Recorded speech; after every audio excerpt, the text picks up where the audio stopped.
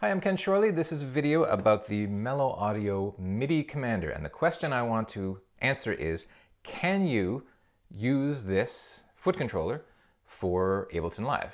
Uh, the spoiler alert is yes. Is it really intuitive and easy to set up? Not really, but that's the purpose of this video. I'm gonna walk you through and show you how you can customize the MeloAudio MIDI Commander for Ableton Live. So here is the MeloAudio MIDI Commander. It's a fairly straightforward foot controller with these assignable buttons here. There are also these two buttons, which are mostly used to toggle up and down through different menus. If we turn it on, you'll see, I mean, this unit was designed mostly for electric guitar players, so they could um, they could interface directly with pedal boards and with with um, software effects and so forth. So there are some presets, and when you first turn it on, it will open to a preset. If you want to set this up with Ableton Live, you have to go into one of the two custom menus. So let's turn it off. In order to enter the, the setup menu, you need to hold down this set button in the bottom right while you're turning it on. And then it'll take you to setup.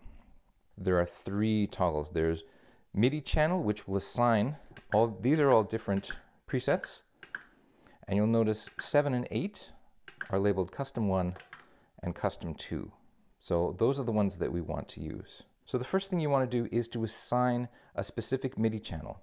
My advice for this is if you're using other gear, like for instance, I love this guy over here, the Novation Circuit, and the way it sends MIDI data, channel 1, synth 1 sends to MIDI channel 1, synth 2 to MIDI channel 2, and the drum channel send to channel 10. So especially drums on channel 10, that's a fairly common MIDI setup. So the first thing you want to do is to select a MIDI channel which is not going to interfere with other gear that you may have running. So you can select, there are up to 16 channels, but again, I would choose something a bit obscure. I, I like, you know, 14 or 15. It generally, if you're, if you're sending MIDI data on one of those channels, it's less likely to interfere with your other gear. So that's the first step.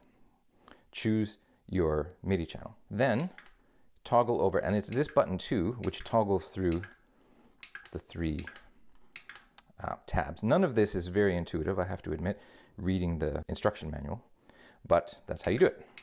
So you toggle through and you can set up custom 2. In here, if you go use this down button over here to go down, down, down, down, here's where we get to the first important setting we want to change.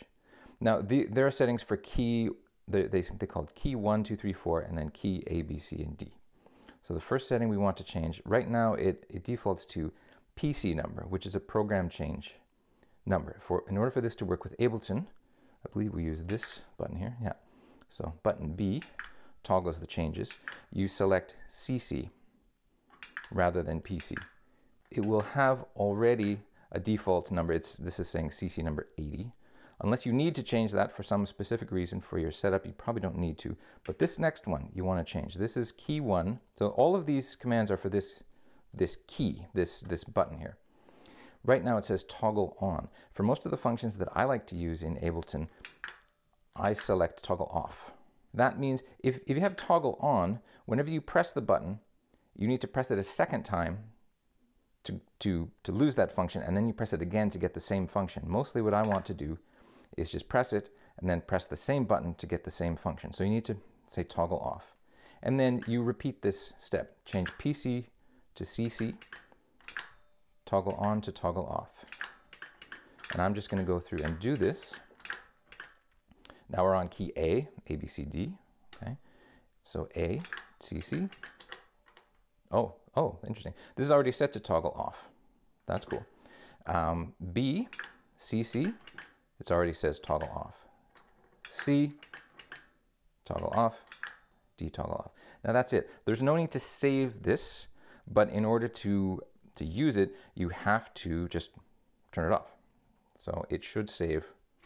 When you turn it on, if you want to select what we were just doing was custom 2, there are eight presets and custom 1 and custom 2 are assigned to these two buttons. So when you turn it on and you want to, to use custom 2, hold this button D down as you turn it on.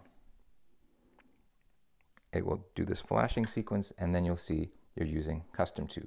And it says it's receiving USB power and it's sending on channel 14. So when you press these buttons, it will indicate the CC number that each of them is sending. Okay?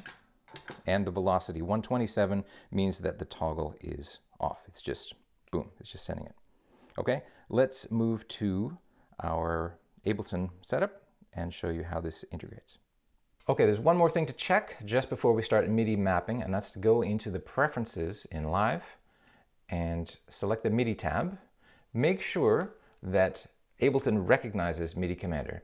On my version, it says TS MIDI 2.0. If you have a newer version of this, it might say something different, but just make sure that Ableton recognizes that for input and output. And if it does, then we're good to go. We can start MIDI mapping. Okay, let's integrate our newly customized MIDI commander with an Ableton Live session. Now I have one set up here, which is, I don't know, it's not finished. It's just something I'm working on, but I just want to show you how we can integrate this with that. So first, we turn on the machine. So because we used our customization in Custom 2, we hold down button D as we turn it on. And then after it does its flashy sequence, it will show, here we are in Custom 2. Okay, so far so good. Now we start MIDI mapping what we want. Now what I'm gonna do is just very simple to show you how you can set this up. Um, you, can, you can map whatever is mappable, you can map now to these buttons. So what I'm going to do is to select this track, the track launch button. I'm going to assign that to button A, which is CC102.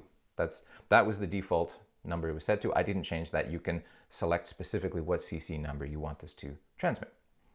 I'm going to repeat that, this track launch for button D, I mean B, and then number three for button C, and button D. So now, uh, yeah, so CC 102, 103, 104, and 105. Okay. Now I also want to be able to stop whatever's playing in that track. So this tiny little um, stop button, I'm going to map, because I'm mapped to launch here to A, I'm going to also sort of pair it up with this button one, which is right above. So this is start and this is stop. And I'll repeat that this stop button, map it here, this one, map it here, this one, map it here. That's it. Now, if you know MIDI mapping in Ableton, you know you can map lots of different things. Just to show you the simple functionality of this, I will now magically start this and track A will play. This one will cause track, track A, not track A, I'm, I'm looking at A, button A, cause track one to start, right? And then button one, stop. And that's it. Basically start and stop for all of these.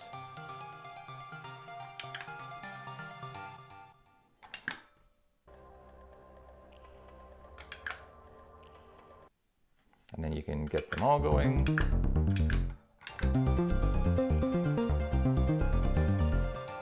Stop certain ones if you want, etc., etc.